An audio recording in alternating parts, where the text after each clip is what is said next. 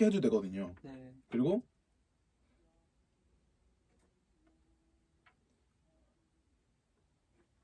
여기서 좀 짧게 치고 아, 하면 아 여기가 너무 좋았어요. 아? 이 부분이 이 아. 부분이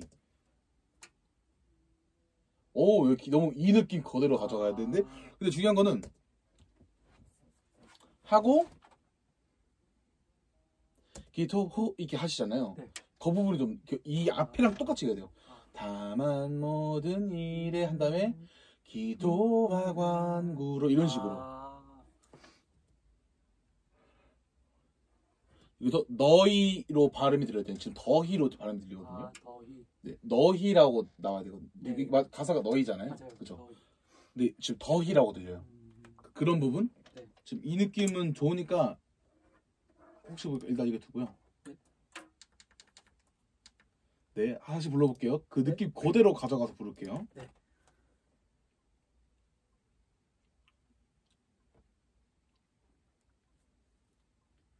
아무것도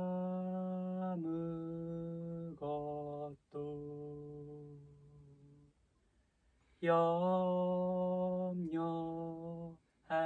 마. 다만 모든 일에 기도와 간구로 너희 구할 것을 감사함으로 오케이, 좋았거든요. 네. 자, 근데 여기 지금 보시면은 기도와가 여기 이어, 이어졌으면 좋겠어요.